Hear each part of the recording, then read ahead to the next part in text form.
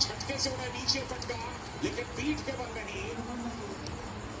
पेट के बल पटका और क्या उसे पीठ के बल में कन्वर्ट कर पाएँगे? अंशु को दो पॉइंट मिल गए यहाँ पर। एक बार फिर उन्होंने दो पॉइंट्स हासिल कर लिए तो चार पॉइंट्स लेकिन अब आउट ऑफ़ बाउंड के नज़दीक पहुँच गई है।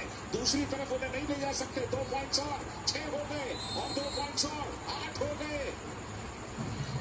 अब बीच में जाना होगा। क्या एक मिनट तक ये मुकाबला चल पाएगा बिल्कुल बहुत ही मुश्किल। और ये देखिए किस तरह से दोनों ने एक दूसरे का पकड़ा हुआ है ऑस्ट्रेलिया की पहलवान।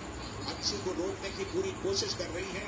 लेकिन अंशु, आप जानते हैं, भारत की अंशु काफ़ी बेहतरीन प्रदर्शन उन्होंने किया है और इसके साथ ही